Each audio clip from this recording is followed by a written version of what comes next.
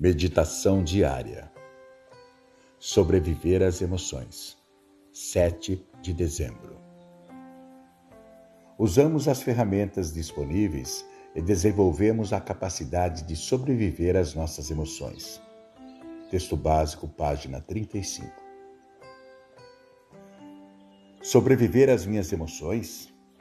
Alguns perguntam: você deve estar brincando?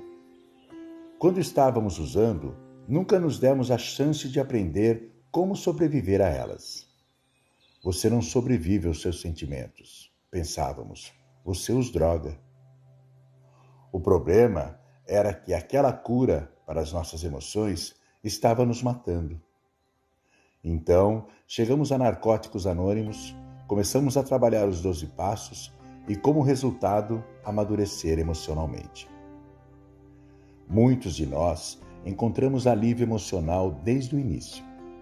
Estávamos exaltos de fingir que nossas vidas e nossa adicção estava sob controle. Na realidade, nos sentimos melhor, admitimos finalmente que não estavam. Depois de partilhar o inventário com o nosso padrinho, começamos a sentir que não precisávamos negar quem éramos ou o que sentíamos para sermos aceitos. Quando terminamos de fazer reparações, descobrimos que não precisávamos sofrer com a culpa. Podíamos admiti-la e isso não nos mataria.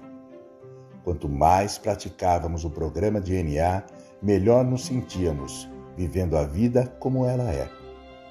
O programa funciona, hoje tão bem como funcionou fazendo um inventário diário, sendo honesto e nos rendendo à realidade. Podemos sobreviver aos sentimentos que a vida coloca em nosso caminho.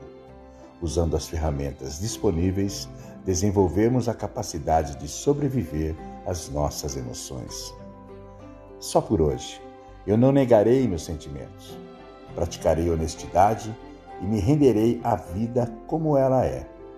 Usarei as ferramentas deste programa para sobreviver às minhas emoções.